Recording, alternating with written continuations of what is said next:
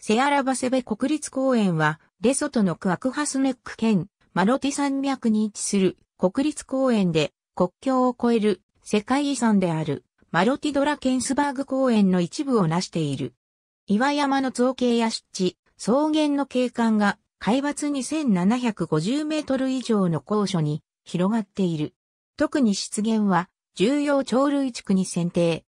顕著な生物多様性と重要な文化遺産の双方を要する、この国立公園は、1969年5月8日に設定されたレソト最古の国立公園である。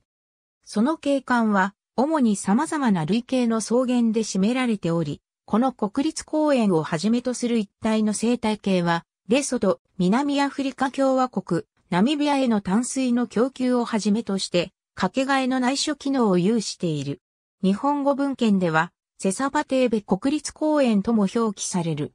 レソト最古にして2番目に大きい。この公園は、レソトの南東端、標高およそ2400メートルに位置し、かなり隔絶した環境にあることから、その地を訪問することは挑戦的である。隔絶した険しい場所にあるが、景観が美しく、手付け数の自然やその静かな環境に身を置くことには、行くだけの価値がある。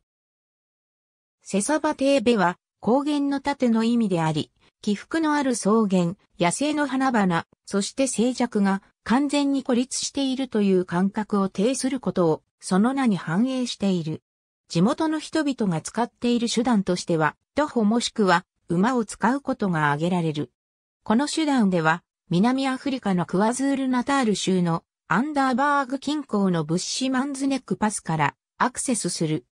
自動車を利用する場合、四輪駆動車でタバツェカの町からマタベング山の山道を使う方法があり、距離は 122km、所要時間はおよそ12時間である。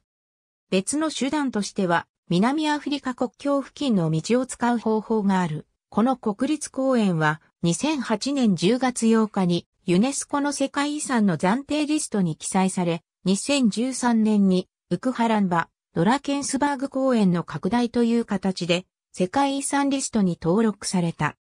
セサバテーベ国立公園はレソトの観光、教育、文化省の管轄下にある。ありがとうございます。